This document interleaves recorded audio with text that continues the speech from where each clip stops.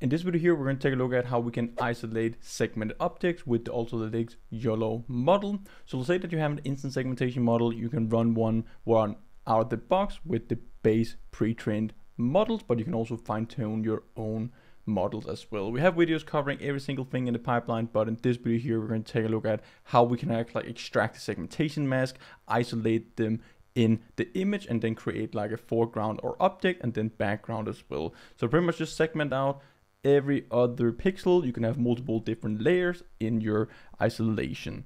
If you go straight into the Ultralytics documentation, we have this guides tab. We can go down into the isolating segmentation objects. So we have all different guides here covered. Everything is available on here on the YouTube channel, so definitely check those out as well. So one thing here, for example, we could have an image where we do instance segmentation and get a mask around the person's walking here. Could also be the bus, but let's just say the person. Then we get the mask. We can actually like filter it out and create a binary image where we have foreground and background, where the foreground would be the person's walking. so here, for example, we can see how we can run prediction with Ultralytics. I'm going to show you a Python script in just a second, and you can use it all, go through documentation, everything will be down in the description as well. So we run a prediction on our model, then we can iterate over our results and also just grab the contours or that is basically just the segmentation mask that we're getting. So when we run an instance segmentation, we get a polygon zone, which is basically just points defining all the boundaries of the object that we're trying to segment out. So this is what we need actually. So we just get our prediction, we have our results, then we can iterate through all the objects that we are detecting. and then we can iterate each object contour.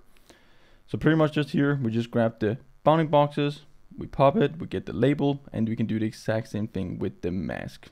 So what we can do here to create a binary mask from the source image. So here we're segmenting out just single person, but we will have multiple persons as well. So this is just one example and not inside the for loop. So we can create a binary mask here. It's just going to be numpy zero. So everything will just be zeros in our image. It will have the same image resolution as our original image. And then we just have unsigned int 8. So when we have zeros in our image, it's basically just black. And if we have 255, then we have white pixels.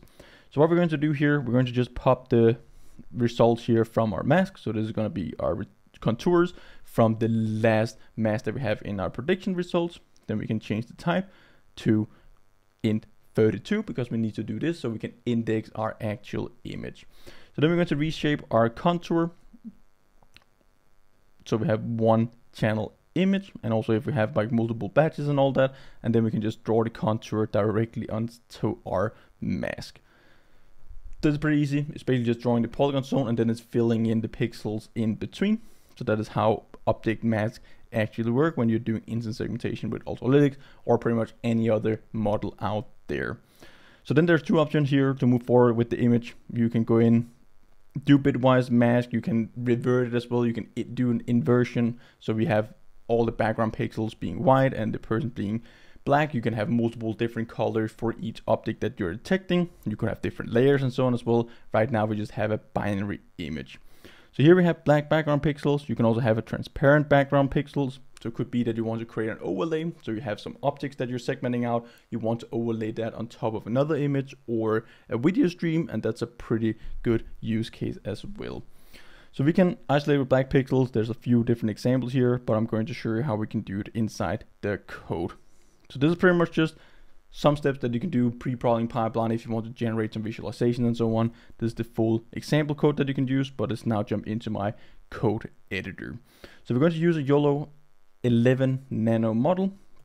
Let's just make it a bit bigger. First of all, we just need to import Ultralytics. From Ultralytics, we import YOLO. We're going to read this image, which is just a bus.jpg, so the exact same as we have inside the documentation. You can use your own images. It will download the model. We grab the model names, and then we just run a prediction with our instance segmentation model. So technique one here is just black background pixel isolation. So we just create our binary image. Let's comment this one out. Command slash, there we go. And we can open up a terminal. We cd into our isolating objects. Then we can run our Python script object isolation, make sure to pip install Ultralytics first, if you don't have that. It's going to download the model automatically the first time you run it, and then after that, it's just going to load it directly. So now we're just going to loop through all our results, convert to CPU. If you have it on GPU, we'll get our boxes, classes, and the mask. We're going to enumerate it and also just zip it together so we have an index. So with the index, you can create different colors and so on. You can have a list you're indexing as well. We have our bounding boxes, class, and mask, which is just getting zipped together. Then we create a bounding mask. We can create our mask that we're going to change, and then we just draw our contour on top of it, which is the exact same thing as we saw inside the documentation. Then we're going to convert it from grayscale image to BGR. So we have three channels, and then we can do a bitwise mask. You don't really have to do all these steps here. You can also come up with your own approaches. This is just basic image operations with OpenCV. So now we pretty much just got the example here. It processed it. Now it's writing it out to our terminal here. So we have black image zero. So this is going to be the boss. Pretty much just the step by step. You can colorize it. Right now we're just going to extract the actually mask from our image. So what's inside our segmentation mask. So here we have all the objects that we're detecting. We're segmenting them out. And again, this can be used for overlaying or whatever you want to do with these isolated objects. Let's make it a bit bigger again. Let me try one of the other examples. This is technique two for transparent background. Let's say that you're detecting some object that you want to overlay on top of video stream. This is a pretty cool use case as well. So we do the exact same thing. Right now, we're just going to do a stacking of our channels or pretty much just our mask that we have. So this is the mask we have and we have our binary mask, we have our mask, and then we just do a stack. So now we have our transparent image. There we go. And now we can see that we have these people, they of course, including some of the boss. There we go. And now we have a pretty nice background background extraction algorithm for our objects. You could combine it as well. So you could say that all the people should be on the same mask. Then you will pretty much just have this mask here and draw the contours where this mask here would be outside the for loop. And then it just keeps displaying this mask here on top of it. So you just grab this one put it out here. And then we are not going to, for each result, I'm lying, we have to put it all the way out. So we just initialize it once, and then we're going to take all our results and just loop through it and draw it on top of our contours here for the mask. So let's just run it again. There we go. Let's see which one it saves it to. It should just save it to all of them pretty much. There we go. Now we have all the objects that we detected in our frame, and that could be your own custom model that you're doing as well where we have them fully segmented out. So here we have another example with the use cases that are pretty much just mentioned where we're overlaying the detections that we get. So we have a mask object, we have our background, so that's just going to be another image.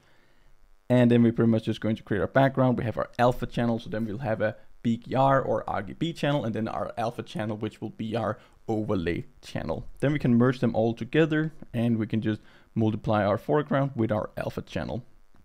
Here you can multiply it how much you actually want to blend it. So you can also change the blending factor or like the opacity of your layer that you're overlaying your image with. So let's re rerun it here, take a look at the results. It's going to load this image to transparent and we'll get our overlay result here. So now we pretty much just have this dog image that we're overlaying with all the detections that we're getting, but this can this is basically just for demonstration purposes, but this is some pretty cool use cases and just good to know how we can manipulate the images. How does binary mask work? How does instance segmentation work? What are the actual pixels that we get in our polygon zone? How do we do the infill and all that? And just how do we use our mask for our own projects and applications. Hope you learned a ton this video here guys. Everything will be down in the description. Hope to see you guys in one of the upcoming videos. Until then, happy learning.